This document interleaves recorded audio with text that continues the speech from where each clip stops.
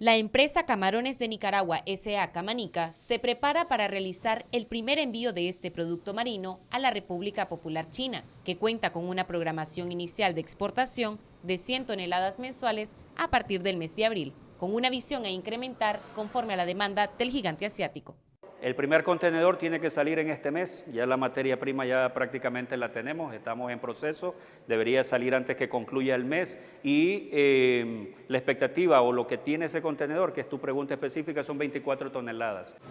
Actualmente, esta empresa exporta a países de Asia, Europa y África, y ahora con altas expectativas de conquistar el mercado chino.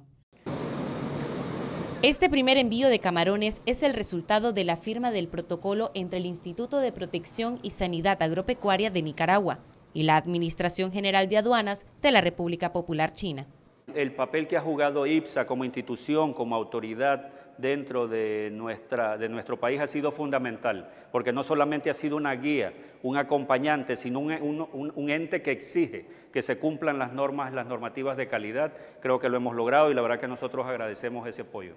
Esta primera exportación de camarones es una muestra de cómo avanzan exitosamente las relaciones diplomáticas y comerciales entre Nicaragua y la República Popular China.